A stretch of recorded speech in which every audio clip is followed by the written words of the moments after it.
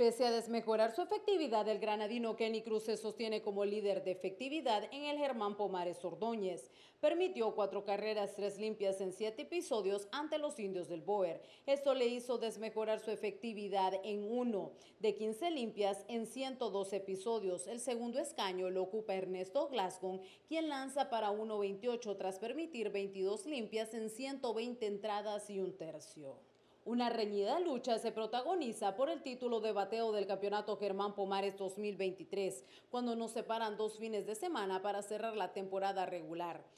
William Vázquez del Boer es líder de promedio de 384, esto luego de batear de 8 a 2 ante Granada, conecta 76 hits en 198 veces al bate, descendió de 389 a 384. El receptor de Estelín, Nolan Cruz, mejoró su promedio de 378 a 383 al batear de 5 a 3 ante Ginotega.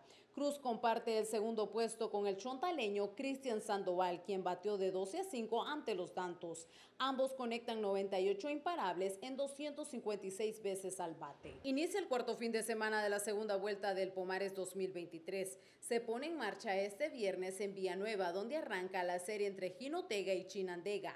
Esta serie continuará el domingo en Wiwili, Jinotega. El sábado inician las series de los indígenas de Matagalpa, se enfrentará a los tiburones de Granada. Los toros de Chontales ante el Boer y los Dantos visitarán a Caribe Sur. Las fieras de San Fernando, rival será el Frente Sur Rivas y los cafeteros de Carazo ante